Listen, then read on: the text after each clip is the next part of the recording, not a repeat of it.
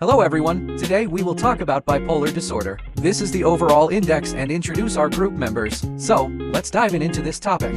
Do you know what is bipolar disorder? Basically, bipolar disorder is a long-term condition, formerly called manic depressive illness, that causes unusual shifts in a person's mood, energy, activity levels, and concentration. Patients with bipolar disorder may have experienced manic during the daytime while depression at nighttime. Bipolar disorder often develops for the first time during teenage years or early adulthood. It tends to affect more females than males. There are three types of bipolar disorder which are bipolar 1 disorder, bipolar 2 disorder and cyclothymic disorder, also called cyclothymia. Bipolar I disorder is defined by manic episodes that last for at least 7 days or by manic symptoms that are so severe that the person needs immediate medical care. Patients experiencing 4 or more episodes of mania within one year are considered to have rapid cycling. Bipolar 2 disorder is defined by a pattern of depressive episodes and hypomanic episodes. The hypomanic episodes are less severe than the manic episodes in bipolar 1 disorder. Lastly, cyclothymic disorder is defined by recurring hypomanic and depressive symptoms that are not intense enough or do not last long enough to qualify as hypomanic or depressive episodes. Sometimes a person might experience symptoms of bipolar disorder that do not match the three categories listed above, and this is referred to as other specified and unspecified bipolar and related disorder. Let me show you some of the signs and symptoms symptoms of bipolar disorder. Manic characteristic give a happy feeling, and talkative while depression characteristic will feeling sad, lacks energy, and lost concentration. Let's go, we can go take a dessert. So, uh, no lah, no lah. Uh, we go to play badminton. A manic person will have many ideas, but a depressed person will feel lost interest. Besides, depressed person will face difficulty, but the manic person have a decreased need of sleep. Furthermore, a depressed person sometimes loss of appetite and have suicidal thoughts. Here are the summary signs and symptoms for manic and depression characteristic of bipolar disorder. Now, we will explore the key factors that increase the risk of developing bipolar disorder. Let's dive in. First, let's discuss genetics. Bipolar disorder has a strong hereditary component. Children of a parent with bipolar disorder have an 8% risk, compared to 1% in the general population identical twins are more likely to both develop bipolar disorder than fraternal twins. Next, stressful and traumatic life events can significantly contribute to bipolar disorder. Major stressors like family conflicts and employment difficulties can trigger bipolar disorder. Childhood traumas such as sexual abuse, physical abuse, or the loss of loved ones can increase the risk of bipolar disorder as well. Substance abuse is another significant factor. The misuse of alcohol, tobacco, and drugs can trigger manic episodes or worsen mood symptoms in those predisposed to bipolar disorder. Therefore, it is crucial for individuals at risk to avoid substance misuse to manage their overall mental health. Moreover, co-occurring mental disorders play a role. Individuals with conditions like anxiety disorders, insomnia, or attention deficit hyperactivity disorder, ADHD, are at a higher risk of developing bipolar disorder.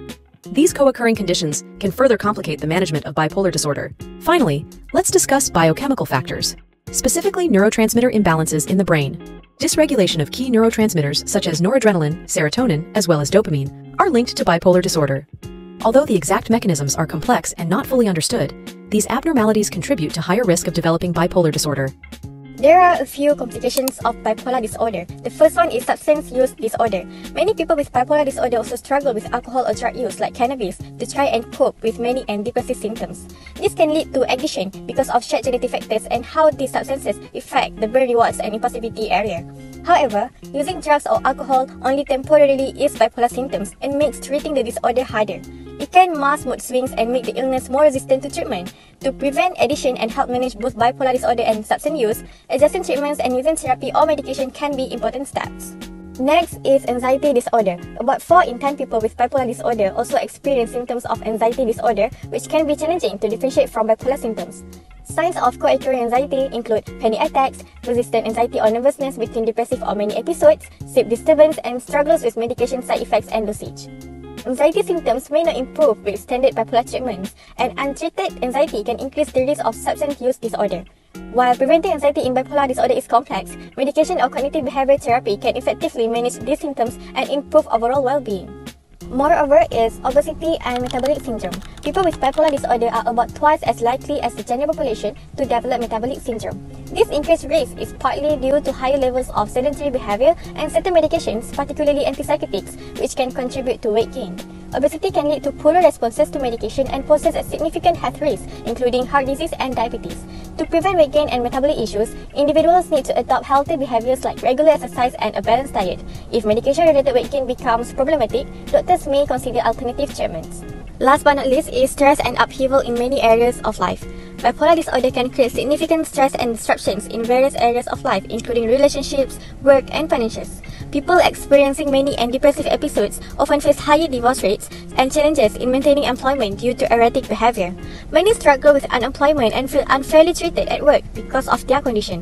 These issues highlight the wide-reaching impact of bipolar disorder and underscore the importance of supportive networks and understanding in managing its effect on daily life.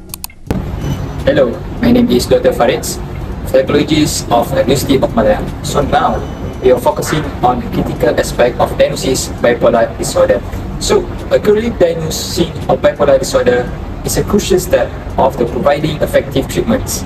Thus, this process involves the by mental health professionals, often including a combination of the clinical interviews, some questionnaires, and also the most important is physical examination. Firstly, bipolar 1 disorder is characterized by many episodes that are at least 7 days, or by many episodes symptoms that are required for still care. Thus, uh, depression episodes also occur, but lasting at least 2 weeks. So the intensity and the duration of episodes uh, distinguish bipolar 1 disorder from other types. So one example of many episodes in bipolar uh, such as elevated sports, increased energy, and the last one is the irritability. Furthermore, bipolar 2 disorder involves a pattern of recursive episodes and hypomanic episodes, but not the fully blown many episodes are seen in bipolar type 1s. But hypomania is less severe and form of mania and does not require hospitalizations. Thus, recognizing the subtler shift in moods is essential for accurate diagnosis. So, what is hypomanic episodes includes, uh, such as uh, racing tones, uh, reduced for sleep, and lastly, mild impulsivity. The last one, cyclothymic disorder or cyclothymia, is characterized by periods of the hypomanic symptoms and the periods of the depressive symptoms that lasting at least two years in the adult and uh, one year in the children. However, the symptoms that meet the criteria for hypomanic episode or uh, major depressive episodes. Cyclothymia can be challenging to diagnose due to less intense but more chronic nature. What is depressive uh, episode includes? Uh, such as uh, persistent sickness, loss of interest, the most uh, common is fatigue. But to diagnose this type correctly, mental health professionals use the various tools and technique, including charts, uh, structured interviews, and standardized uh, questionnaires. Although the mood charts have track and moods fluctuation over time, providing valuable insight into the patterns that might include the bipolar disorder. Standardized questionnaires and uh, standardized structured interviews that aid in gathering comprehensive information about the mental individual mental health uh, history. So that's all for me. Thank you. Have you ever wondered, what are the pharmacological treatments for bipolar disorders? According to clinical practice guidelines, for management of bipolar disorders in adults, there are two phases that can be considered. When choosing a pharmacological treatment, in the acute phase, the monotherapy for first-line treatment involves using either lithium or quetiapine. For combination therapy, options include using lithium or valproate, together with a selective serotonin reuptake inhibitor, olanzapine with an selective serotonin reuptake inhibitor, lithium with valproate, or lithium or valproate with bupropion. The monotherapy for second-line treatment includes using either valproate or lurasidone. For combination therapy, the options are quetiapine with an selective serotonin reuptake inhibitor, lithium or valproate with lamotrigine, or lithium or valproate with lurasidone. The monotherapy for third-line treatment includes using either carbamazepine or olanzapine. For combination therapy, options include using lithium with carbamazepine or lithium with pramipexole. In the maintenance phase, the first-line treatment for monotherapy includes lithium, lamotrigine valproate, olanzapine, or quetiapine. For combination therapy, it involves using lithium or valproate with quetiapine, aripiprazole or ziprasidone, as adjunctive therapy. For the second-line treatment, monotherapy options are carbamazepine or paliperidone. For combination therapy, the options include lithium with valproate, lithium with carbamazepine, lithium with risperidone, or lithium with lamotrigine. The third-line treatment for monotherapy is asenapine. For combination therapy, it involves using lithium or valproate with asenapine as adjunctive therapy. It is important to note that gabapentin topiramate or antidepressants should not be used as monotherapy, and flupentixol should not be used as adjunctive therapy. Besides pharmacological treatments, there are also few non-pharmacological treatments that can be done in the treatment of bipolar disorders. The first treatment is an electroconvulsive treatment. Electroconvulsive therapy induces a seizure in a patient who has been given a short-acting anesthetic and is unconscious. Though controversial, electroconvulsive treatment is a well-established psychiatric treatment with strong evidence supporting its effectiveness and safety. It is primarily used to treat severe depression that hasn't responded to other treatments. Electroconvulsive treatment is also used as a first-line treatment for depression when a rapid response is needed, as it works faster than medications. Next is psychosocial interventions, which subdivides into few treatments options such as cognitive behavioral therapy, interpersonal social rhythm therapy, group psychoeducation, family-oriented interventions, early warning signal. Cognitive behavioral therapy is founded on the idea that thoughts, feelings, and behaviors are interconnected. The goal is to teach patients to identify, confront, and replace problematic beliefs related with negative mood states with more beneficial ones. Interpersonal social rhythm therapy trains patients to control sleep-wake patterns, work, exercise, and food times, while also addressing interpersonal concerns. Group psychoeducation improves comprehension of illness and management, leading to higher treatment satisfaction and adherence rates. The program aims to enhance illness awareness, treatment adherence, early identification of symptoms, and consistent lifestyle habits.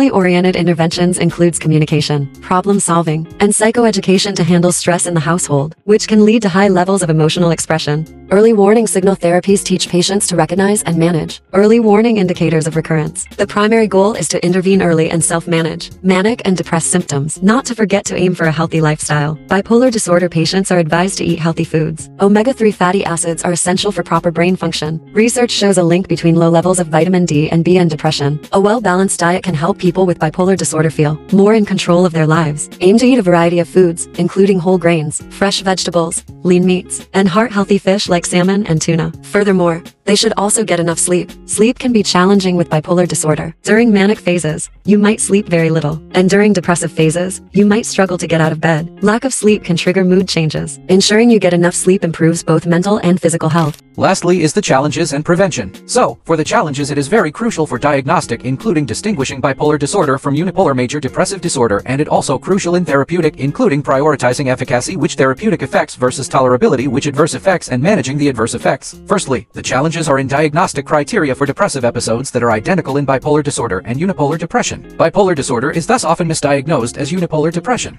Next challenges are many different bipolar disorder subtypes exist. Bipolar disorder type 2 is especially difficult to distinguish from unipolar depression because of frequent depressive episodes and the absence of full-blown mania. The third challenges are depressive symptoms are common in bipolar disorder and their prevalence is higher than that of hypomanic or manic simply. The challenges in mixed mood episodes are more common than was previously thought in bipolar disorder. These episodes might obscure detection of mania and hypomania in view of the reporting bias towards depressive symptoms in people with bipolar disorder seeking treatment.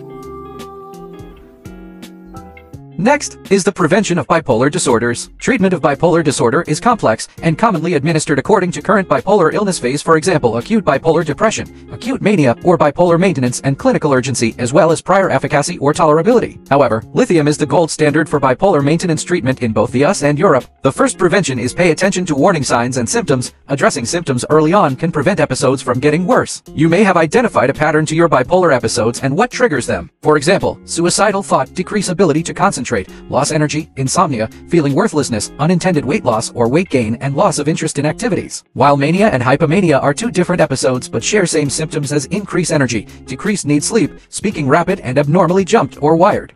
The second prevention is avoiding drugs and alcohol. Using alcohol or recreational drugs can worsen the symptoms and make them more likely to come back especially affect the physical and mental health consequence. The last prevention is to take medications as prescribed by doctor or pharmacists. You may be tempted to stop treatment but don't. Stopping your medication or reducing your dose on your own may cause withdrawal effects or your symptoms may worsen or return. Let's take a look in the video about the risk if not taken medication as prescribed.